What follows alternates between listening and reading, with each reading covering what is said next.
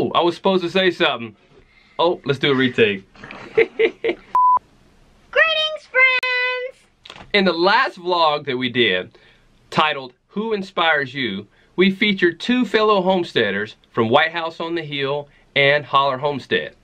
And in that vlog, if you make sure, if you haven't checked it out, make sure you do. And in that vlog, they talked about who inspired them, who were the most influential people in their lives in getting their homestead started. And in this vlog, we're going to do another segment of Who Inspires You.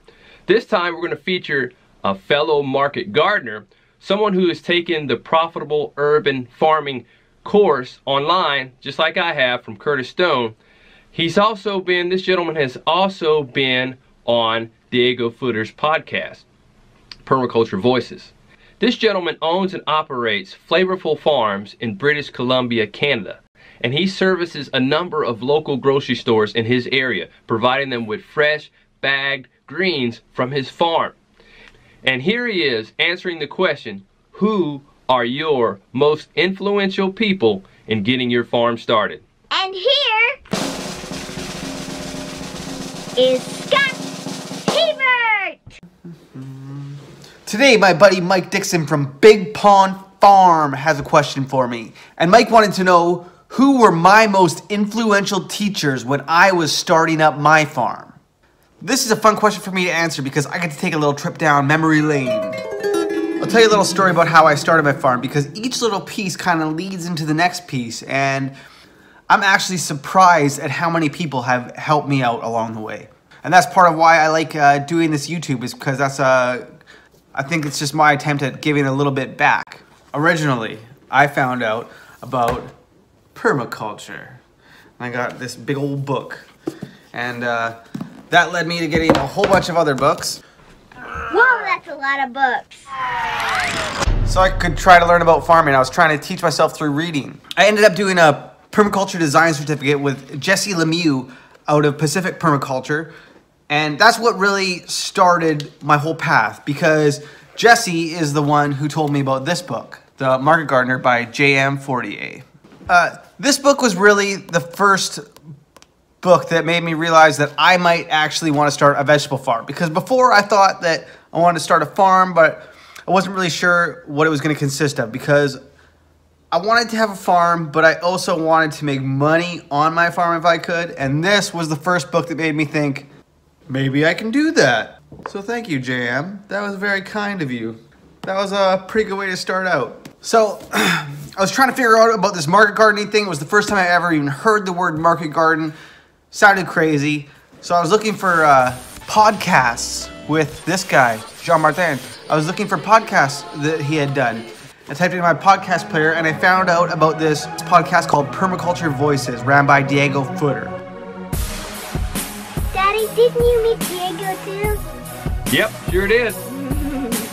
so I started listening to Diego's podcast, and Diego had so much great content about um, starting a farm business and what it was like to get started. And Diego actually had this one segment on his show called The Urban Farmer with this guy named Curtis Stone.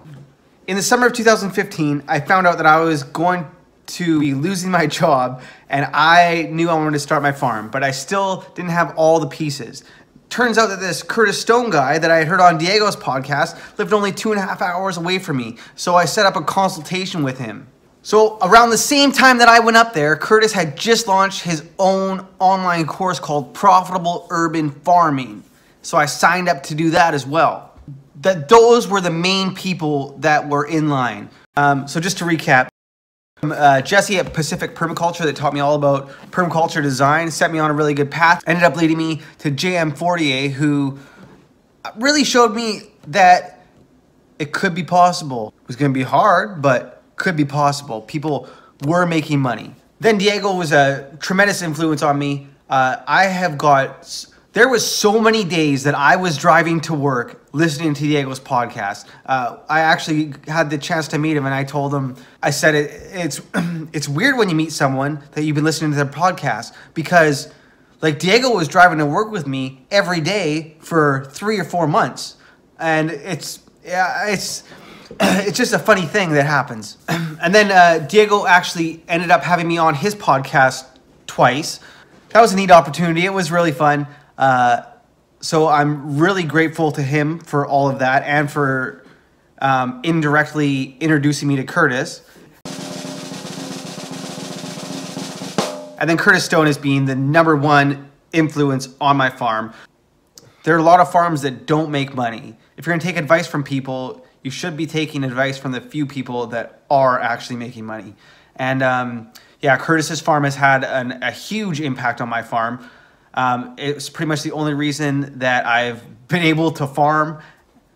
When I was ready to start doing my farm and I had a thousand questions to ask, at the exact same time, Curtis had made an online course that was all the information that I wanted. Exact same time, those things were happening. So it was very, it was definitely like from mythology when the student is ready, the teacher appears. That was a really neat experience. Uh, he's had a really big impact on my farm from the layout of my farm to what I sell, the crops, my revenue streams. Uh, I've got to be on Curtis's YouTube channel now a couple times, uh, and i've just been really grateful for those opportunities. And, and then I would say my last biggest influence has been uh, everyone else in the market gardening community. When you're first starting out, it feels like you're alone because you're out there in the field doing everything by yourself. Uh, and it seems like no one understands, but there's this whole little community on Instagram and on Facebook groups, and you get to meet really cool people like uh, Mike Dickson and his family at Big Pond Farm, Lacie and Selah and Micah, and uh, I forget the last little guy's name. Josiah! Nailed it. Seeing other people making sacrifices for their families or trying to start businesses changing the food system, trying to get more people started farming. It's all very inspiring and awesome, and it makes me want to continue to produce great content and have good work and produce good produce. The community, I think, has had a really profound influence on my life. Those are some of my, those are, I know I gave you a whole bunch, but those are some of my biggest influences on my farm. Thank you, Scott, for joining us. Yes, and make sure you check out Scott's channel, YouTube channel at Scott Hebert on YouTube. Also, he has a really neat Instagram page. He posts a lot of inspiring and just motivational quotes about farming and agriculture. And check out his Instagram page at Flavourful Farms. That's pretty neat that Scott also remembered all of your names. That was pretty neat. He remembered all our names. and Scott also mentioned taking advice from people who are actually making money. Yes, we, we can get inspired by a lot of different people who are doing a lot of neat things and that, that is very good. But when we're taking things to the next level and whatever we want to be successful in let's make sure that we take advice from the people who are actually being successful. That's very important in life. You want to make sure you're taking advice for somebody who is being successful in the area that you want to be successful in. Like if you want to ride a horse and you want to learn to ride a horse Yeah. you want to learn from somebody who's pretty good at riding a horse don't you? Yep.